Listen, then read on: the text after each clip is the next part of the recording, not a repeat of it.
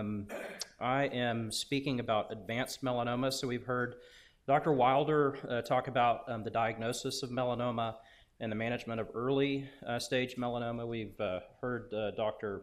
Prescott talk about um, surgery for um, more advanced melanomas, and I'm going to talk about um, the medical management of advanced melanomas. Um, so, melanoma is not as uncommon as we think. Um, about 80,000 cases a year diagnosed in this country, um, and this is one of the fastest growing uh, cancers that we have. Um, about 4% increase in the number of cases year over year, and uh, really uh, making this time, particularly um, with um, you know our generation, previous generation, you know, not really having much knowledge about sun protection, um, as well as kind of the use of sun uh, tanning beds uh, in the 90s, 80s, and 90s. Uh, really seeing an epidemic of melanoma these days. Um, unfortunately, uh, there's still about 10,000 deaths per year. This is about a, a patient dying from melanoma each hour, and um, uh, clearly uh, this is unacceptable. Uh, we want this number to be zero. And so, um, as mentioned earlier, prevention um, is really key. But what happens when we're not able to prevent melanoma? So, as mentioned before, melanoma uh, comes from the cells called melanocytes. Uh, UV radiation uh, causes mutations in the blueprint of these cells, which turns them into melanoma. And whenever we look at uh, the mutation pattern in melanomas, we see not only a mutation, but we see hundreds to thousands of mutations uh, in these uh, tumor cells, um, making it really the highest mutated cancer that we see um, amongst all other cancers. Um, this is really important uh, when we talk about the therapy of this uh, cancer, and which we'll touch on in a minute. So, why is melanoma so dangerous? So um, these mutations uh, result in these cells behaving in a very aggressive way. They're able to grow fast. They're able to um, invade deep into the, the skin quickly, um, and they're, uh, they gain the potential to break off uh, from the original tumor and spread. Um, so we, t- we usually break down melanomas in terms of staging, so stage ones, and we've kind of hit on all these things in our previous talks. But just a reminder, stage ones, these are early thin stage melanomas, can generally be treated with a simple uh, excision, uh, no lymph node biopsies needed. Uh, stage twos, uh, these are our um, uh, intermediate or thicker melanomas. Um, and uh, these do need to have lymph node sampling, but we don't find out they're really stage two until we sample lymph nodes and find out that those are indeed negative. And stage three are these uh, patients that have lymph node spread. Uh, stage four, uh, which I'm going to talk about in my uh, talk, is whenever what happens if the melanoma gets beyond the lymph nodes, gets internally, um, and that's what we call stage four melanoma. So uh, for prevention, uh, we haven't really had many drugs for prevention, and unfortunately, melanoma is a type of cancer um, that is not very sensitive to our traditional um, uh, cancer therapies. So, chemotherapy, radiation, those things that we use in breast cancer and colon cancer and lung cancer uh, don't work very well in melanoma. Um, and there's a variety of reasons for that, um, but we haven't really had a good uh, preventive medication uh, for patients with a higher risk of melanoma. Uh, we have uh, a couple of uh, immune drugs called interferons. interferon um, and pegylated interferon were FDA approved, and these drugs um, have the potential to delay the time to recurrence by about 10 months, but haven't really translated into cures or uh, preventing uh, uh, recurrences in the long term. Um, plus, they have a lot of potential side effects. And uh, there may be a patient or two that have experienced interferon in the audience, but by and large, we are getting away from these therapies. Um, in 2015, we had a drug called ipilimumab, and we'll talk about this drug in, in greater detail in a little while. But this um, um, is still only limited to some patients. Patients have to have at least a millimeter of melanoma involvement in a lymph node and have to have undergone the complete node dissection uh, in order to fit the FDA label for this. Um, however, this is a drug that has shown an improvement in long term survival, and this story is still being written. Uh, as we get uh, results from uh, uh patients who've been treated with Yervoy in a preventive fashion, um, we know that at three years, uh, there's about 10% more patients alive, but we suspect that's going to grow um, to potentially as high as 20% um, as we follow these patients longer. Um, but unfortunately, again, this drug has a lot of potential for side effects. Uh, fatigue, diarrhea, rash. Um, these are common side effects. And I know many of you are familiar with this drug and may have experienced some of these side effects. Um, and so we've certainly needed uh, better, we need better drugs. And I, am uh, glad to say that uh, there are promising drugs in, in preventive trials going on right now that may change this prevention landscape. So after we diagnose stage two or three melanoma, it's really important, as Dr. Prescott was highlighting, that we have very close uh, physician observation. Uh, we um, get intermittent PET scans or CT scans uh, to follow the patient. Um, we recommend dermatology follow-up for life. Um, and it's also, this is the uh, time to really talk about uh, what can we do to prevent more skin cancers in this patient and uh, also in the family. So, what if, God forbid, there is a relapse? So, um, if um, we have a relapse kind of in the same zip code that the melanoma started of, or kind of a localized relapse, we'll often recommend surgery. Uh, perhaps then consider um, adding one of these prevention medications. Um, if uh, unfortunately it's spread internally, then um, and surgery is not an option, then we're looking at medications. So, what are the medicine options for stage four melanoma? So, we have really um, two new categories of treatments. Um, these are um, directed towards um, specific abnormal proteins in the cancer cell. We call these targeted therapies.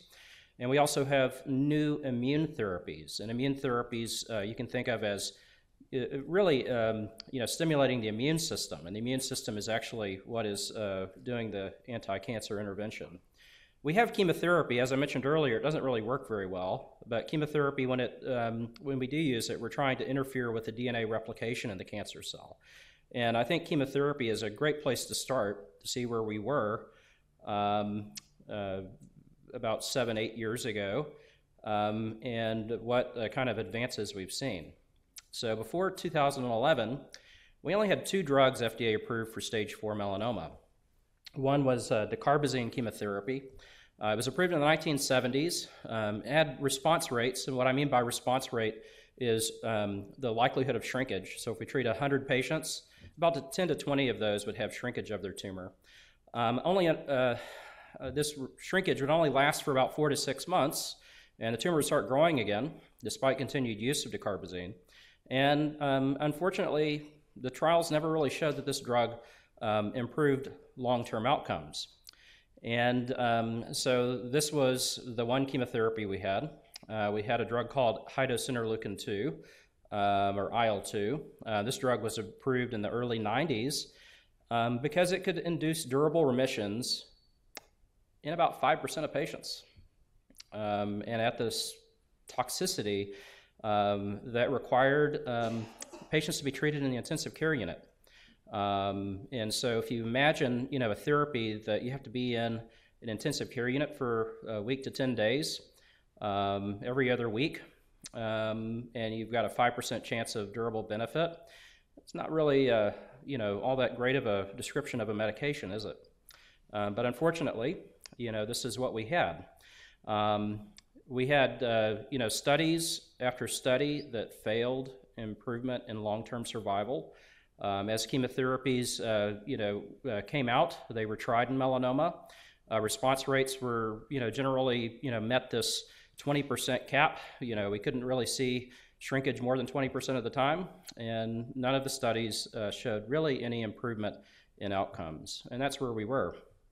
So what happened in 2011? Well, we had these two new classes of drugs uh, drugs that were able to target um, a specific mutation, uh, mutated protein in the cancer, um, and a new immune drug, uh, which was the first of a, a group of drugs um, representing a new class of immune therapy. These drugs did show improvement in the average survival for patients. They did show improved response rates.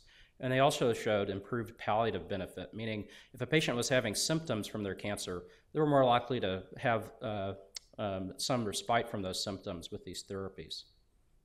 So, molecularly targeted medicine. Uh, this is a cartoon meant to confuse you, okay? Because, um, you know, the, the uh, inner workings of a cell uh, is very complex. Um, and uh, we have a lot of uh, proteins that get activated at certain times when our cells need to grow and divide.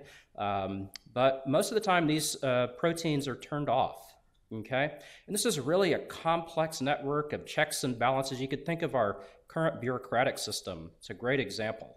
Um, and, um, you know, the interesting thing is that whenever you have UV radiation, and you have hundreds to thousands of mutations, a lot of times those mutations really don't do much. They don't cause any abnormal function in the cell per se, um, unless the UV radiation hits just the right point.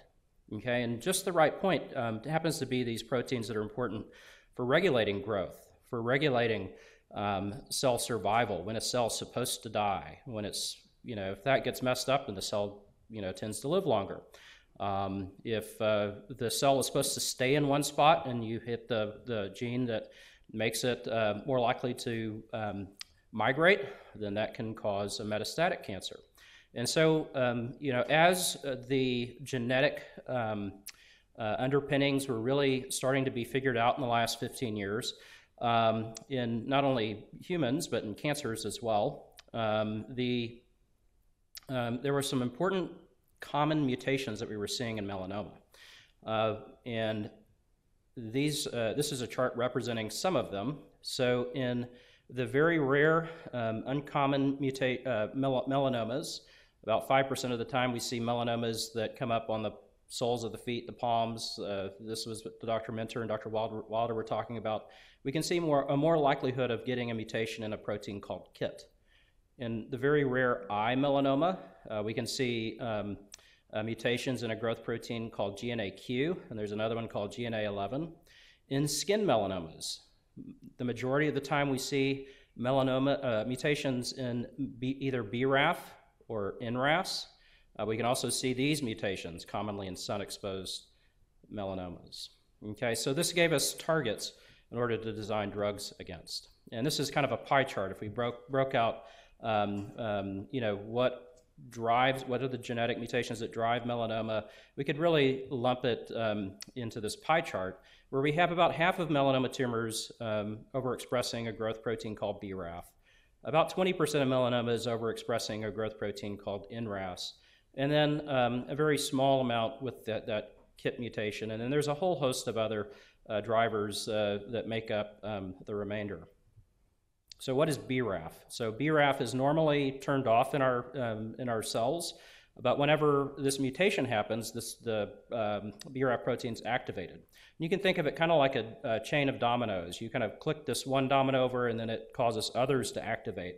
And ultimately, the signal gets progressed down through a protein called MEK, ERK, and then that signals the melanoma cell to grow and divide and spread. We see these mutations in higher frequencies in patients with intermittently sun exposed. These are kind of our weekend warriors that go out and get sunburns a couple of times a year. You're more likely to have a melanoma in um, a melanoma that has a BRAF mutation as opposed to kind of the farmer um, worker who's out, you know, getting sun exposed all through the year. Um, young, the younger you are, if you're female, if you're overweight, your increase of BRAF mutation goes up to all the way to 80 percent. Um, so we have a drug called a BRAF inhibitor that's able to go in, at, kind of capture this mutated BRAF protein and uh, um, inactivate it. And that's the way uh, this first breakthrough um, happened. Okay. So um, um, was the first drug uh, which was FDA approved to um, uh, block this BRAF signal. it did so in a phase three trial uh, where it doubled the average survival compared to dacarbazine th- chemotherapy. So we have uh, one of the first drugs showing an improved term outcomes. Um, we saw that rapid responses were normal. Um, and this was something we were not used to seeing in melanoma. And I can tell you the first uh, time I gave a patient uh, Zelboraf uh, was uh, in 2009. Uh, it was one of the very first patients we treated on a, um, a new clinical trial with the drug. Um, the patient came in with big, bulky tumors. We could see them across the room. And um, after a week of being on therapy, she came back in for a visit. And this was a, a lady who loved to square dance. And um, she came in the first time in a wheelchair. She came in the second time walking in, couldn't see tumors, and she was back to square dancing. And um, it, this was just phenomenal. We were very ecstatic. Um, but that was a, come to find out, going to be a normal thing. And, um, and so this uh, drug has been shown to be um, uh, useful in patients who have had uh, prior therapy, uh, such as chemotherapies and IL 2, as well as patients that were naive. And common side effects that we see are fatigue, joint pain, rashes, sun sensitivity, so it can increase your risk for sunburns, um, and these other skin cancers called squamous cell carcinomas uh, or keratoacanthomas. Um, this is a PET scan and um, all of these little black dots um, represent tumors. Um, and these are uh, three different patients. Um, the one on the left being uh, the patient um, at the start of treatment, and then the one on the right image being um, patients after 15 tr- uh, days of getting therapy.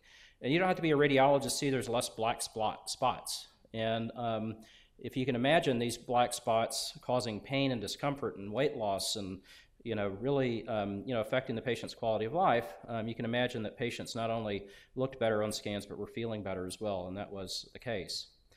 Um, unfortunately, though, um, patients did end up relapsing.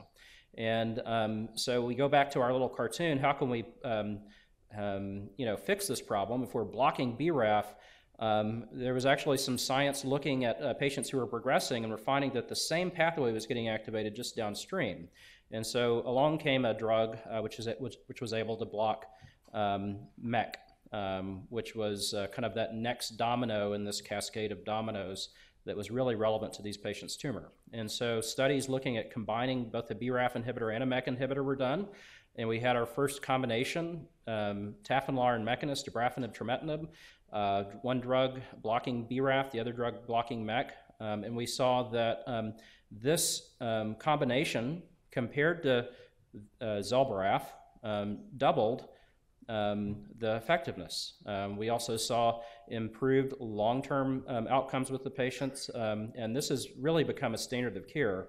And um, you know, fortunately, you know, one nice thing about this center is we've been able to participate in these studies and kind of see this progress happening in patients and be able to get them cutting-edge medicines before they're FDA approved. But now that we've seen, um, you know, dabrafenib and trametinib um, uh, uh, demonstrate these long-term outcomes, uh, the makers of Zelboraf also came along with a MEK inhibitor and demonstrated very similar results in their own trials. So now we have two different combinations for patients. Both the uh, Tafinlar Mekinist, Zelboraf and Cotellic are FDA approved, um, but are very similar in the way they work and in their side effect profiles.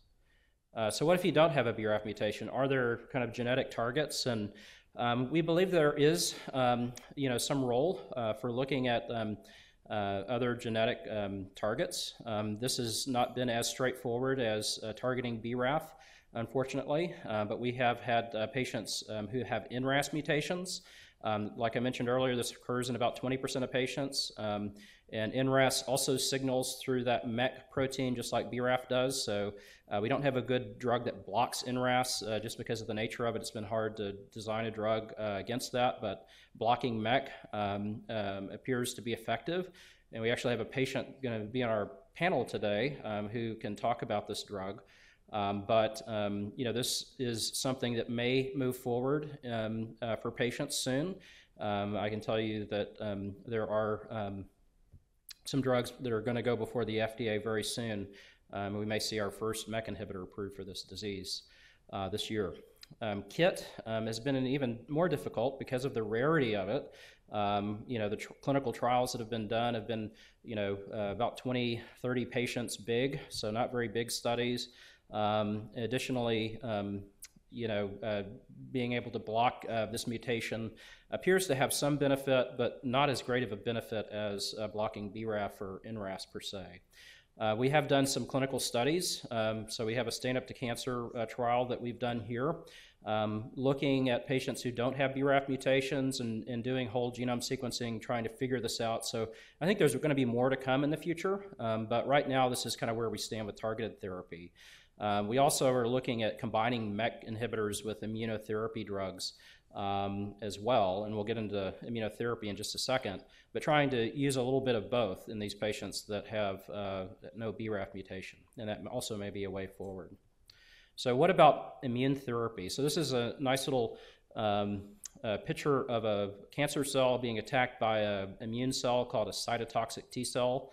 Um, and I kind of imagine this happening in all my patients as we're treating them with therapy, but it'd be really nice to kind of uh, see this in action, wouldn't it? So this is ipilimumab. So ipilimumab, I mentioned, was the very first of these new class of drugs.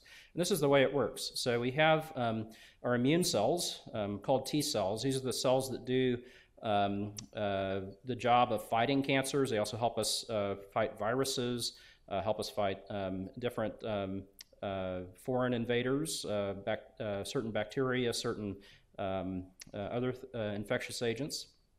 But um, our immune cells need to be activated in order to do their job. They need to recognize the enemy and they need to be able to um, mount an immune response to that. And unfortunately, um, even though we've known for many years that the immune cells are able to recognize melanoma, we often see immune cells invading in melanoma tumors when we biopsy them. There's something that has been a barrier to the immune cells actually making a meaningful response on their own. And um, this was really a pivotal finding um, uh, uh, where there are certain molecules on the surface of these um, immune cells that regulate their function. And I often use the analogy kind of like your coffee pot at home. Your coffee pot, you turn it on, you know, it does its job, but it automatically turns off, usually the more modern ones do, to kind of prevent, you know, uh, something bad from happening. And our immune system is wired the same way. They will be able to um, activate, um, but there are things that have to happen to keep them activated. Um, they have uh, these auto off switches uh, that can happen. And um, CTLA4 uh, was one of the first uh, well described off switches of immune cells. And what we were seeing was that the immune cells, the T cells, were being activated, but shortly afterwards, usually within a day or two, the CTLA4 off switch was also being activated. And so this activation wasn't really meaningful. And so the immune cell was just getting turned off, automatically turned off. What Yervoy does, ipilimumab, is that it's an antibody that moves in and attaches to the off switch and causes it to um, not work. So the immune cell can remain active. And so you could think of it also kind of like your car. In order to get your car to go from point A to point B, you have to turn it on, you have to use the steering wheel, push the accelerator, and um, re- release the emergency brake. So this really, uh, this drug really releases the brakes. Um, but it's the immune cell's job to recognize melanoma and to be active. And we've known that in melanoma in particular, that process is already happening. So um, this is an IV therapy. It's an antibody, so it has to be given IV.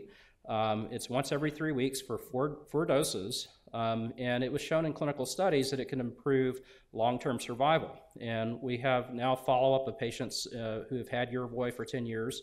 And we see about one out of five patients living living long. Um, you know, either cured of cancer, we don't see any tumors, or um, having tumors that just aren't growing for many, many years.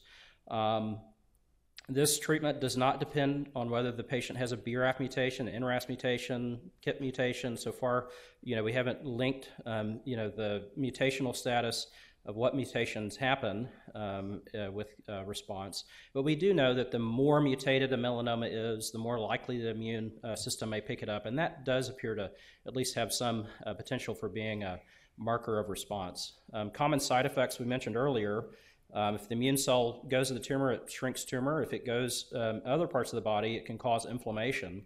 And the two most common places we see inflammation are in the bowel, where we see diarrhea, and uh, the skin where we can see rash or itching. Um, and these problems can be serious in some cases, and we have to use um, the antidote, which is steroids, anti inflammatory medication, to treat them. Uh, but this is by and large, um, you know, a side effect that may happen um, and be treated and managed and resolved within weeks of, of, uh, of arising. So there are also some unique res- patterns of response we see with um, this uh, type of therapy. We're used to cancer, um, when we give a treatment, we see shrinkage. If it doesn't shrink, it's not working, we switch to something else. With immune therapy, particularly these new drugs, we've had to rethink this because while we can see um, that phenomenon where things will shrink right away, we oftentimes see this phenomenon where you know the tumor looks like it's getting worse. So this patient, before starting, this is the liver over here, okay? And again, you don't have to be a radiologist to see all these little black spots. That looks worse, more tumors. And this is after the four doses of Yervoy. And if we use our traditional way of thinking, we'd say this isn't working, we need to stop. Uh, but what really is happening is these immune cells are, you know, take some time to work. So during that time, you know, we can have true progression. But also in some uh, cases, we see the immune cells in infiltrating the tumor, causing the um, tumor to become more prominent on scans um, and then respond. And so in this patient, we see an initial progression followed by um, a reduction in the size of the tumor that lasts um, for a long time. Uh, this is another um, patient who has skin tumors. And we can see at the beginning, you know, the skin tumors um, start at this point. They look worse at 12 weeks, and then by week 14, they're improving. And then out of 108 weeks, there's no tumors. Okay? Um, so, again, that kind of pattern of um, progression or pseudo progression early in the course of therapy. And then we can also see this phenomenon. This patient had, had only two doses of treatment, had to stop because of side effects. But you can see all of these uh, spots in the lungs. Uh, this is a CT scan of the chest. Um, and um, at five years, or um, you know, after a period of time, we see that they're reduced, but we still see some tumors. But this patient hasn't progressed um, more than five years later. And these are actually old slides, so this is patient's probably in that group of eight to 10 years of follow up. So, ipilimumab, we see um, improved risk, uh, improvement in the risk of death. We see um, that this um, uh, is um, true in patients who are untreated as well as patients who've had previous treatment. Uh, we can see uh, the potential for long responses and complete responses, but there are uh, potential for side effects. Um, and that is uh, something serious that we need to uh, be able to be cognizant of and deal with as appropriate. So, next in our uh, kind of um, parade of immune therapies, we have uh, the PD1 inhibitors. And just like CTLA4 is an off switch, so is PD1. Uh, PD1, um, however, um, is expressed at a different point in time. So generally, we think of as uh, CTLA4, um, you know, uh, expression and action happening more early in the immune response. Remember, I mentioned in the first one to two days. Usually happens in the lymph node, which is kind of our uh, patrol station in our immune system, uh, where things uh, are initiated. But PD1 activity actually happens more in the tumor microenvironment, you know, in the tumor itself. So even when we block um, CTLA4 with Yervoy, we still see progression in, in a large percentage of patients. Why is that? Um, well, because there are other potential barriers to normal immune function, and PD1 is one of those. And so PD1 um, um, actually can be expressed on the tumor itself. So this is, uh, you know, one example of how the tumor can interact with the immune cell and shut off the immune cell, even in, um, when we're using Yervoy. Um, and so um, this kind of led um, uh, folks to um, be curious of potentially blocking this um, in melanoma if we could see responses. When we look at about the, the, how, the percentage of this PDL1 expression, this kind of uh, you know, how often is this happening in melanoma that we can identify um, it's about 40 to 60% of the time, which is a pretty significant amount of time. We can also see it in other cancers, and we've now seen this class of drug be approved in other cancers, um, but it all started in melanoma. And so Keytruda in 2014 uh, was the first PD1 in, uh, inhibitor FDA approved. Um, and it was uh, approved based on the ability to um, induce responses in patients who'd previously been treated with Yervoy uh, or ipilimumab and failed. Um, and Uh, it was subsequently shown to be superior to ipilimumab in trials uh, randomi- randomizing to one or the other in untreated uh, patients. Um, and it also, just like the uh, Yervoy, has similar um, types of side effects uh, because, again, we're us- utilizing the immune system. But um, generally, these immune side effects are much less frequent um, than with Yervoy and much more tolerable, uh, which is um, really given this class of drugs um, a lot of buzz um, when they first came out. Uh, this was quickly followed just a few months later by the approval of nivolumab or Opdivo, uh, which had kind of a similar path of um, clinical study, um, being shown to be effective after uh, uh, patients in patients after they progressed on Yervoy in the frontline setting compared to chemotherapy, and also in the frontline setting compared to Yervoy. Uh, patients often ask, you know, which one is better, and um, you know, the the honest answer is we don't know because they haven't been compared head to head in a trial, and they never will be. But if we look at the different studies and we kind of compare how effective they are in terms of likelihood of shrinking tumors, how long that benefit's going to last, you know, how long are patients living, um, what the side effect profiles are, they look very, very similar. And, you know, they're antibodies designed against the same target just by different companies, so we would think so. Um, so at the end of the day, you know, I, I feel um, that they're um, somewhat interchangeable. So what about PD-1 therapy compared to Yervoy? So um, as I mentioned, you know, both of these drugs have now been um, uh, shown to be um, uh, have better response rates, improvement in long-term survival compared to Yervoy. Uh, but we also see a much better toxicity profile. Um, less than 10% of patients on PD-1 therapy have to stop because of side effects, um, where it's closer to 30 to 50%, depending uh, on what study we look at uh, with Yervoy.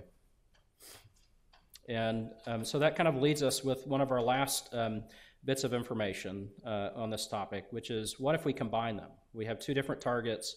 Uh, what if we use both antibodies together? And this is information from uh, the very first study that attempted to do this. Um, and um, I tried not to put a lot of charts in, in, um, in this uh, thing because I think they can be kind of confusing. But I did put this one in because I, I, I love it. I think it uh, really speaks to um, you know, the, the potential of this combination. On the chart on the left, we see um, a bunch of lines. We call this a, a, a spider plot. And um, each one of these lines represents um, what um, a patient's tumor is doing over time. And so um, any uh, kind of deviations below zero mean shrinkage, anything above zero means it's growing. And then this is uh, on the x axis, we have weeks of therapy. And so you can see that most patients have a dramatic drop in their tumor size. And um, one of the highlights of this combination has been how deeply patients respond, with most of these responses being more than 80% of shrink, shrinkage of their tumors, with a lot of them getting to 100% shrinkage. And in fact, we see about um, one in five patients um, have complete resolution of their tumors with this combination. Um, but we see other patterns of response too. Uh, we can see some patients um, uh, where they don't have complete shrinkage, but it's stable for a long time, or gradual response. We have other patients that you know, have a period of growth, kind of like we showed earlier, followed by response. And then we have some patients. Unfortunately, this is a small number, and that's been kind of shown in, the, in our larger trials too. This is a very small study um, that just don't respond to this therapy. Um, and we really need to figure out why so we can come up with better therapies for these patients. Um, but you can see that most patients are getting benefit um, from the spider plot. And this is a, another CT example of patient's tumor. All these little arrows point to tumors that have uh, resolved at 12 weeks. So this combination, um, again, uh, through a large trial, which we were fortunate to participate in um, here at this center and had a lot of patients uh, treated on this study. Uh, this combination was FDA approved in 2015, um, and it showed superior benefit compared to single drug PD-1 um, or Yervoy in terms of likelihood of shrinkage Okay, so there's a lot more patients having shrinkage of their tumor, a lot more patients having complete remission of their tumor with the combination. Uh, we also see that on average, patients are benefiting longer compared to either drug alone, alone. But unfortunately, again, when you combine drugs, not only you have the potential for better efficacy, but you also have the potential for higher side effects. And um, in this uh, combination, we do have a higher side effect rate. And about half of patients have to stop therapy in the first three months because of side effects that come up.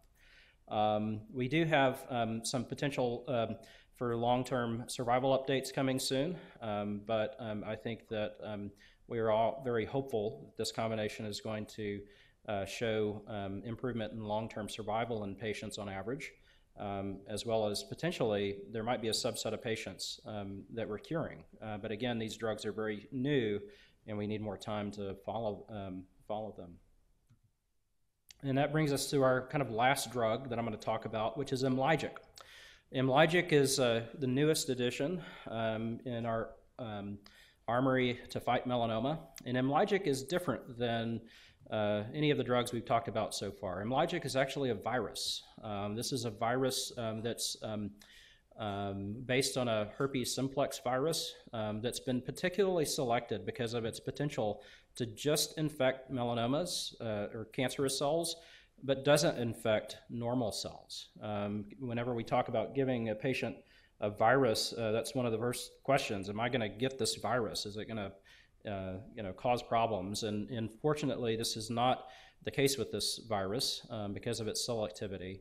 Uh, but the other th- cool thing about a virus is um, that just like a computer virus, um, the biologists can actually put different coding in. Um, and in this um, vi- particular virus, they've put in a coding for an immune hormone. And so what happens is we have a tumor, um, and these tumors in this particular with this particular treatment have to be tumors we can get at with a needle. So we're talking about patients with lymph nodes or patients with skin uh, uh, melanomas. Uh, we can't, you know, repeatedly inject tumors in the lung or liver and abdominal cavity. So we're really looking at a kind of a small um, uh, subset of patients here. But we inject the, this live virus into the tumor. Uh, the virus um, infects the uh, melanoma cells.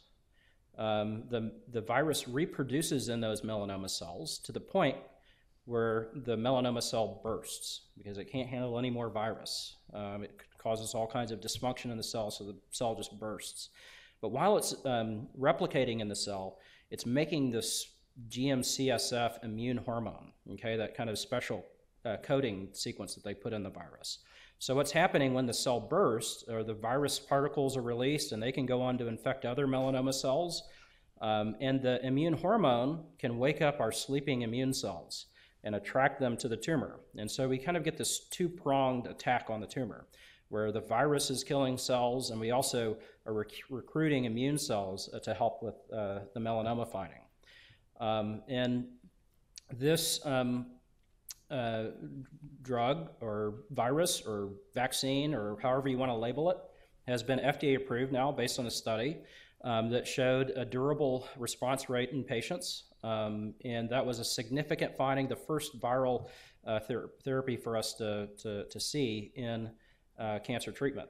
Um, and now uh, the next steps are really looking at uh, trying to combine this virus um, with other immune therapies and other uh, treatments.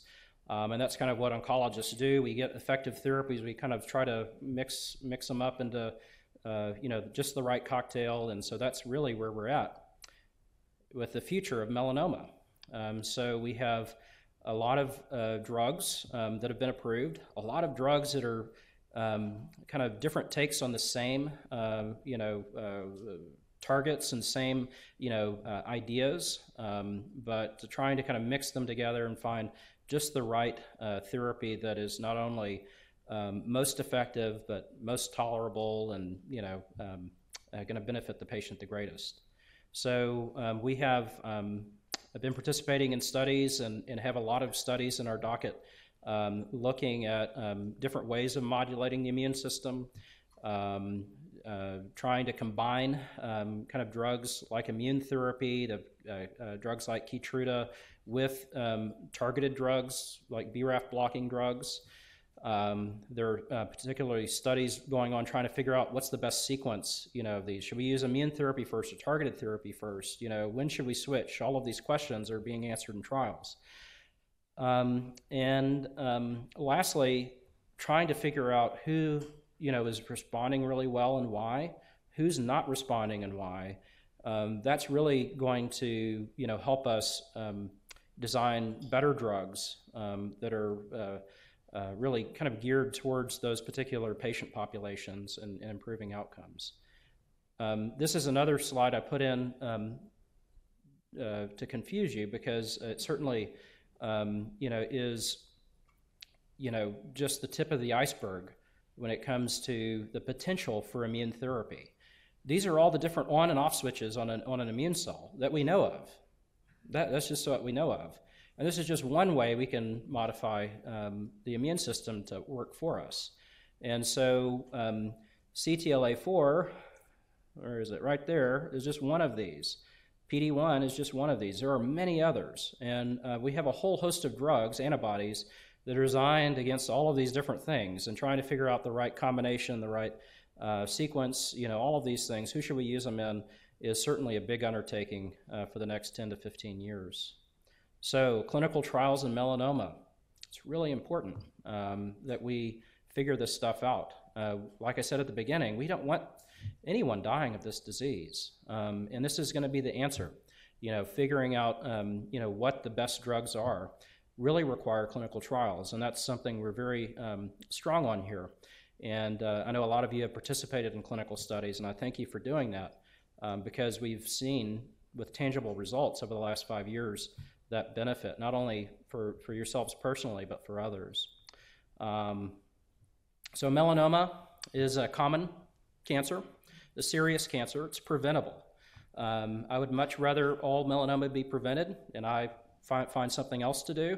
But unfortunately, um, you know, we still have a lot of patients uh, coming down with advanced melanomas. Um, so um, it's important that those be managed correctly, that you're seeing dermatologists, that you're you know getting the surgical care you need, um, and, and if you're uh, one of those patients that have um, developed advanced melanoma, that we're getting you uh, the best possible therapy and the potential uh, participation in clinical studies as well.